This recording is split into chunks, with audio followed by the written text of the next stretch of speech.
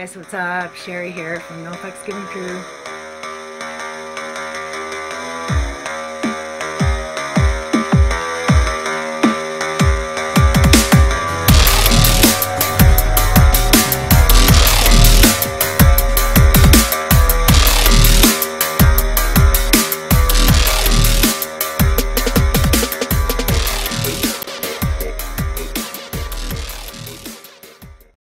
What's up? Sherry here. So this is going to be a twin flame reading for April 28th until May the 5th. Um, thank you so much for your love and support while I've been gone. Um, yeah, I'll leave it at that. All right, guys, here we go. Let's start. Um, so I'm using my deck, uh, the typical twin flame reading. Let me pull the cards first, and then I'll go through the positions. So we're doing the basic reading first. Um, if you want to watch the extended version of this reading, you can purchase it on my website or uh, become a patron. And the links are below. And thank you also for the your pledges. Oh my God, guys, you just rock my world. There's just no words to describe how grateful I am to have you supporting me and guiding me also um, on this journey. Okay, so the bottom of the deck. All right, so I might be pulling a couple of clarifiers, so let me just shuffle my other deck here.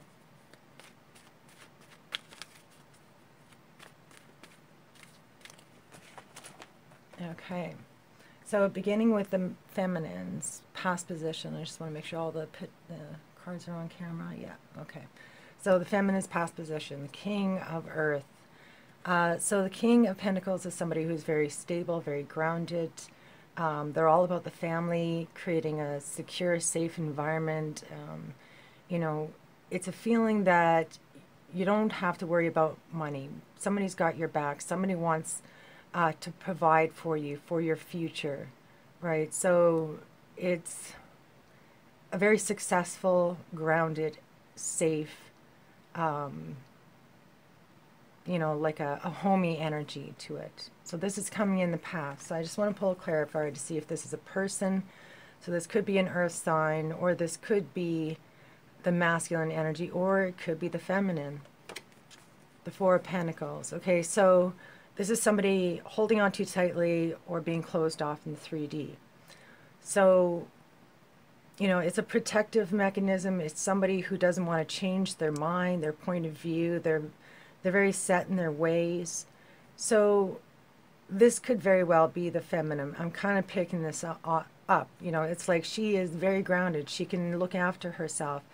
Um, she has abundance coming into her life and she but yet she's closed off in the 3d um, she's not willing to share herself.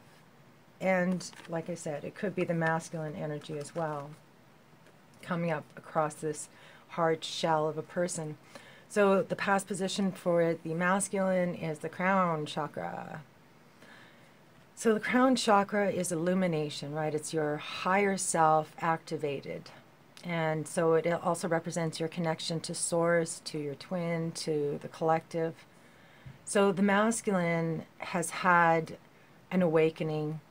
Um, he has connected with his higher self. He's he's um, come to some higher understanding of his purpose on, on this earth and and you know how everything out there is just an illusion. What is real is what's inside of you, your soul, right? So let's see, let's pull one card. Okay, so the Three of Pentacles. Um, over here is the Four with the King. We got the Three over here, which is uh, foundation, feeling secure, feeling grounded, feeling like, you know, your, your venture is starting to take off, um, seeing the success of all of your hard work and seeing that initial fruits of your labor. So that coupled with the crown chakra is telling me that there is something that's beginning in the 3D reality. He feels that um, he's now creating a different 3D reality, one that is more aligned with his higher self, perhaps. Let's see what the rest of the cards show. Okay, so the feminine's present position, the Six of Cups. So this card is about reunions, um, but it's also about nostalgia, thinking back about someone, um, having fond memories of them, you know, desiring to reconnect with somebody that you have deep emotions for. And this also represents innocence, right? So when you're a child, you love freely. There's no attachments, right? Um, you're not thinking of getting married. You're just thinking about how happy you are with somebody and how they make you feel, right? And so all you want to do is play and laugh and explore. So let's pull one card. All right, so the Yang, she desires to reconnect with the divine masculine. Now, this could also be the feminine embodying this yang of power, of strength, of determination, of action. Um, but I really see this more of a reflection, a desire to reconnect. Um, and but here we're seeing that the feminine sees the masculine as a divine being of, of somebody who um, is authentic right? Those memories she feels are authentic. Um, and draw her closer to her divine self, maybe, her divine path. Okay. So the masculine's present position, let me move these over as well. Okay. Um, is the Queen of Cups.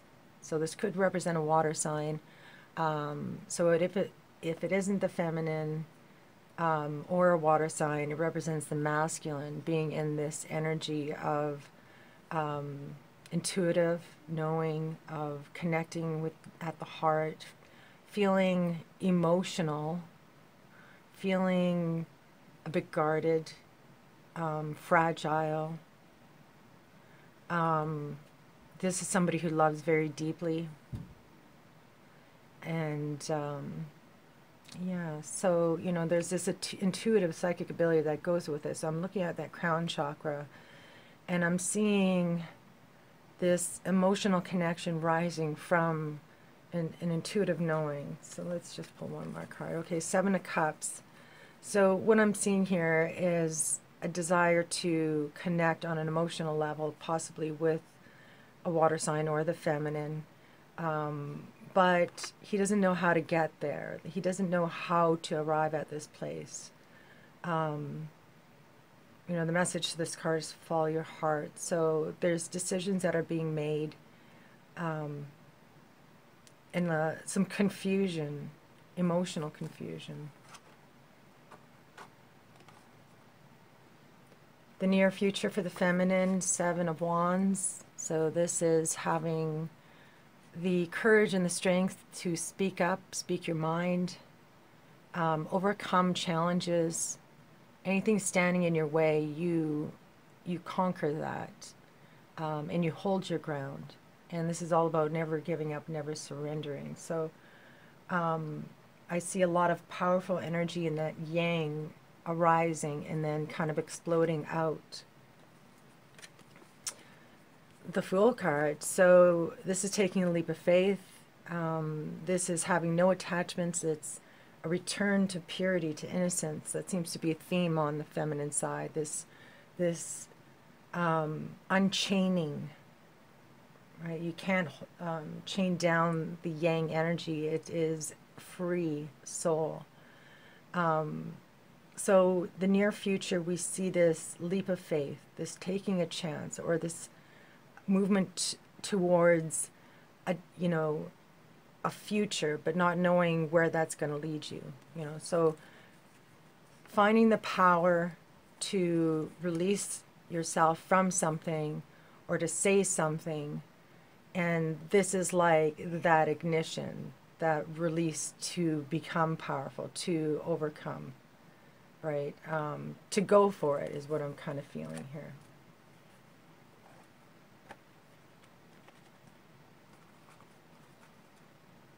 Can you see those? All right. So the near future for the masculine, the Four of Cups. So this is a disconnect, feeling like things aren't moving forward, or this could be turning your back on somebody. Um, but there is a longing energy. You're looking out a window, you're thinking about the past, you're thinking about a person. So we see that thinking about in the present position as well, right? Um, you know, wanting to reconnect or not wanting to connect, feeling that you've been betrayed on some level. So let's see what that's about. The King of Swords. So this could represent an air sign or could be somebody who um, is very authoritarian, authoritarian, very outspoken. Their words could be cutting. This is making a decision as well. So the near future, I see this um, disconnect. Uh, and, you know, it's coming from a mental space and an emotional space. It's like, yeah, there's something that needs to be said, but it's not being said. Remember that the Four of Cups is the the main card, right? So it, I'm seeing this cold as ice energy coming from that card, Mo moving from somebody who was emotional to, to somebody who is distant and cold, cut off. So we're, we're definitely seeing a regression here. Illumination, feeling like grounded, right? And then confusion regarding an emotional connection, and then a disconnect. Yeah, uh, confusion to clarity of disconnect you know, Ice King.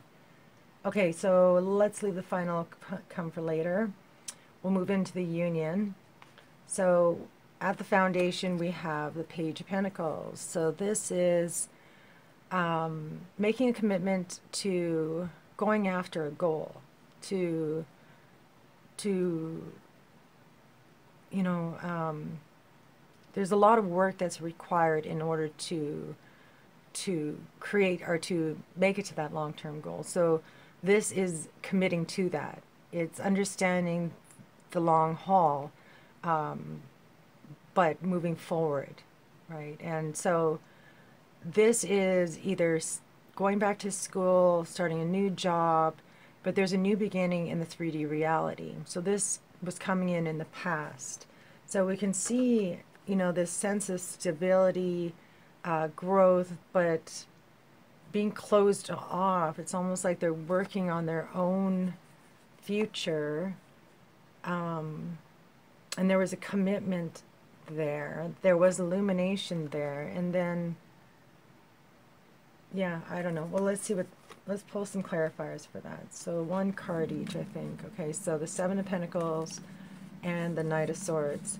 So the the masculine's energy was very chaotic all over the place, right? There's the sense of wanting to go forward and um, having no direction. Um, you know, this is somebody who is also a social butterfly, who is a thrill seeker. So, very all over the place kind of energy associated with the Page of Pentacles. So, it's almost like he's looking at this commitment and not committing to it. Not, it's almost like an avoidance that I'm seeing here. And so the knight kind of turns into the king in the near future. Now, the Seven of Pentacles is what the feminine's getting, and she's sitting there patiently and contemplating and considering the past, considering the future um, seeing where her time is best spent, right? So there's um, an idea of, of a future goal. And although we're seeing commitment with the feminine, we're not really seeing that with the masculine. We're seeing scattered energy, but there's that idea that is this that's there, it's forming. Right, and we can see it kind of grounding in the past. All right, so what is the crowning is the Nine of Wands. So this is uh, somebody who needs to continue to fight, to not give up, right? We got this energy of of conquering something, overcoming something, stepping into your power. Um, and as a crowning energy, there's a desire to push further. Um, I see frustration, anger, a desire to give up and walk away, but also a desire to push further. So one card each. The Page of Wands and the Moon. So the Moon is not knowing something. Something's being kept from you. There's something you want to discover. Um, you know, this is your fears locked beneath the surface. So the masculine is dealing with some darkness. Um, he wants to push through that darkness. He wants to to fight, you know, to get to the finish line. Um, but at the same time, there's a sense that you know maybe he wants to give up because the fight. There's just too much that's unknown, too many fears that um, are taking over. The Page of Wands is a new beginning. Again, another page. We got a page of the the foundation of, and a page in the crowning. So, you know, this is excitement, exhilaration, um, this spark, this idea. Um, that has to do either with spirituality or a creative idea, right? So the feminine, you know, is she's she feels like she's coming to the end of a journey um, and that there's a new beginning in sight so we see this fool coming in in the near future coupled with this powering card you know standing up never giving up never surrendering um, overcoming obstacles, but in this free spirit manner. And then we kind of have that same energy being projected here as well. So, you know, needing to battle, needing to fight for something, but there's this new beginning, this innocence, this freedom that's uh, the feminine's reflecting. So, very different energies coming from both sides here. Okay, so what is the feminine bringing into union? the Eight of Wands, a lot of fire energy over here. So the Eight of Wands could represent communication, but it's uplifting energy. It is stepping on the gas, right? Seeing that finish line and moving forward at an accelerated pace. But it's also Cupid's arrows. Um, very positive, vibrant energy. We can see that definitely over here.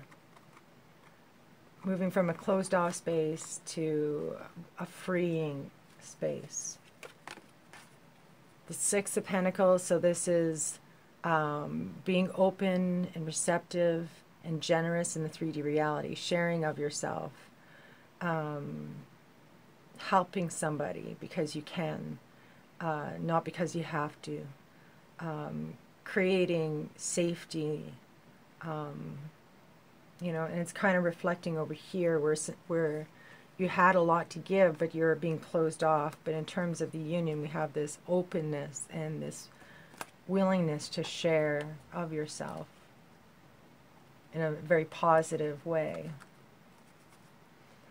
The masculine is the chariot movement, an emotional movement towards your goal. It is overcoming challenges, obstacles, um, feeling excited and happy with what you're doing um, yeah, so it's activation and movement uh, forward in a very confident way. Wow, the King of Wands, very powerful card. Um, you know, this is somebody who's a leader, unchained, but this is somebody who takes action. He wants to change the world. So, in terms of the union, there's movement forward and there's fiery, passionate, sexual energy a drive, a desire.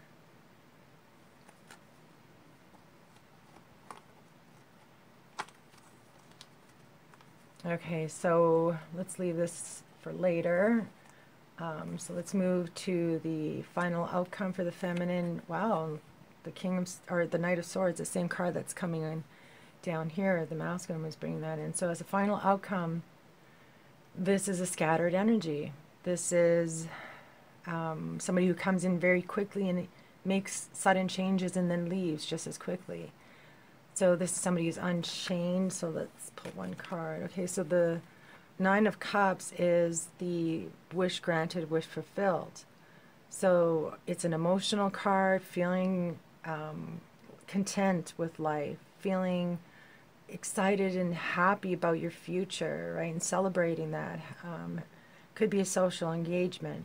So because the masculine is bringing in this Knight of Swords from the past, it's coming towards her again in the future. So, you know, there could be an energetic connection.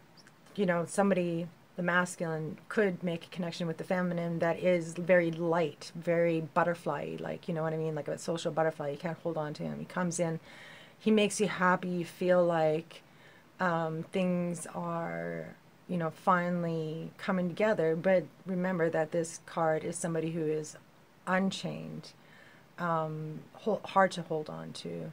But at the same time it also means that this person loves to sit down and talk. They're willing to talk about anything philosophy um, not necessarily emotions but you know big ideas physics, that kind of thing. But um, he wants to dive deep into communication. So there may be something, you know, some form of communication or energy coming towards the feminine that makes her feel like, you know, she's on top of the world. The masculine, the nine of swords. So we got nines as final outcomes. So nine of swords is, um, you know, being trapped in the mind. Um, being consumed with negative thoughts. So, you know, it's a self fulfilling prophecy. There was a disconnect, a turning away because of thoughts. He didn't want to think about um, how he felt about this person. You know, it's like an avoidance, right? And so that cascaded into the Nine of Swords. So let's pull one more card. Ace of Swords. Okay, so the nine plus the ace is a 10, so it's like a completion. So there is a decision that's made, there's clarity, uh, there's an ending to a fear cycle. Remember, we have this moon up here in a crowning. There's a desire to to face your fears, to find the truth of the matter, right? Um, so the King of Swords is holding that Ace of Swords um, and putting an end to the Dark Night of the Soul. This is a triumphant card, success, um, yeah, so he discovers a truth. He overcomes or conquers his fears.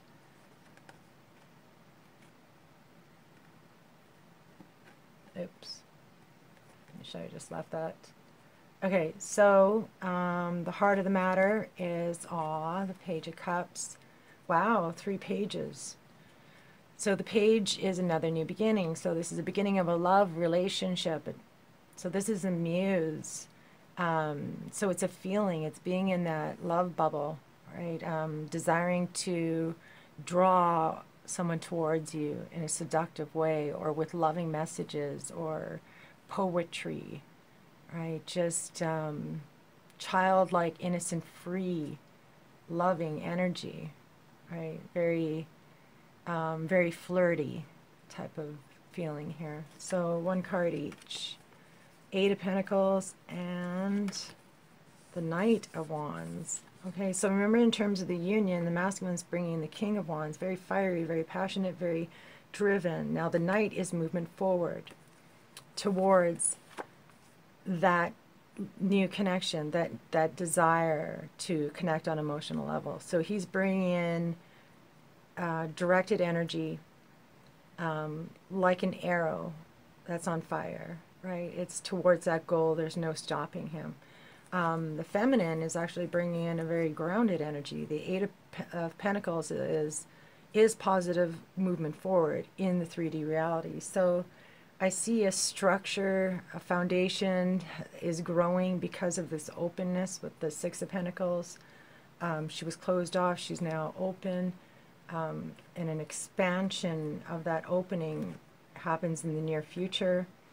Um, and you know it's like that spark of inspiration is reignited within her the passion the desire to to begin a new journey is there and it's solidified um, in terms of the union for this next week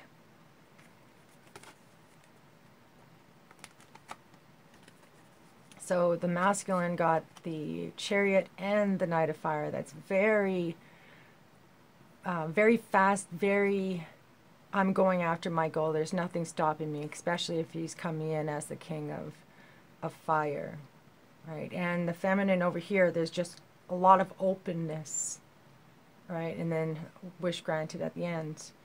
Okay, so the overall energy, wow, the Two of Cups, spiritual union. Okay, so um, what this screams is spiritual union. Prepare for spiritual union. So connecting with your twin flame, um, recognizing your twin flame, and having that that soul connection, that deep bond re- reignited, that you know that true love feeling reignited.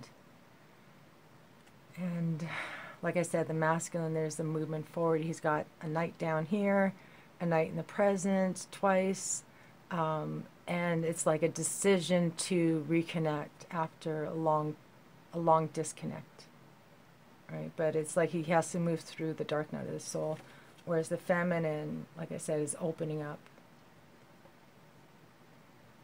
instead of um, closing herself off she's being open.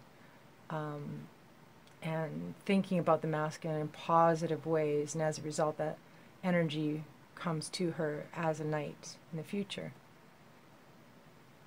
Okay, so let me pull, I'm going to actually use the Osho Zen for the um, message from the universe. What final messages, whoa, do you have? This one for the feminine. Wow, the Page of Cups. Understanding. And for the masculine. Final messages do you have for the masculine?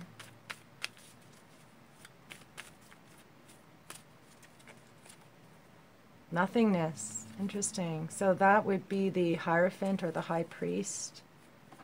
Major Arcana. Alright, so let me read the feminine first. Oops, just saw it there. So this is like finding encouragement to come out of your cage, and that's what I'm seeing, this closed offness to openness, a return to this free spirit. Okay, so I got a i got new lighting, as you guys can see. I just wanted to see what it would look like on camera. Um, I won't know what it really looks like until I do a playback, back, but um, I don't know. We'll, we'll see if I keep it or not. But it makes it hard for me to read, though. Okay, so it says, um, You're coming out of jail, out of the cage. Sorry, I might have to put this card down.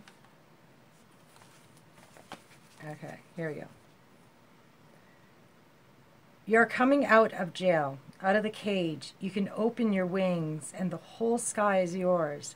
All the stars and the moon and the sun, the sun belong to you. You can disappear into the blueness of the beyond. Just uh, drop, just drop, clinging to this cage. Move out of the cage and the whole sky is yours. Open your wings and fly across the sun like an eagle. Um, in the inner sky, in the inner world, freedom is the highest value. Everything else is secondary, even blissfulness, ecstasy. There are thousands of flowers, uncountable, but they all become possible in the climate of freedom. Wow. Okay.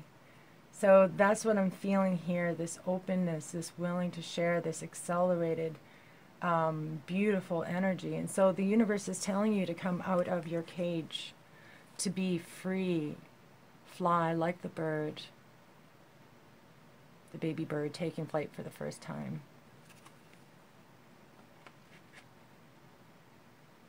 So the masculine got no thingness.